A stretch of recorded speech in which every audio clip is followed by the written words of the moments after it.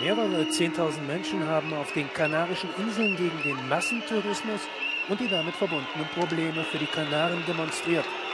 Demonstrationen unter dem Motto Die Kanarischen Inseln haben eine Grenze fanden auf allen sieben Inseln des Archipels statt.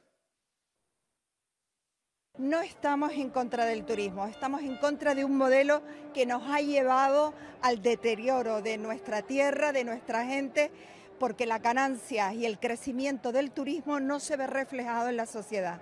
Porque necesitamos un futuro para nuestras islas, un modelo diferente, poder tener casas, poder vivir aquí en nuestra isla y no tener que irnos fuera. Der Tourismus macht 35 Prozent des Bruttoinlandsproduktes der Kanaren aus und stellt fast 40 Prozent aller Arbeitsplätze. Doch wird der Massentourismus für hohe Mieten und niedrige Löhne verantwortlich gemacht.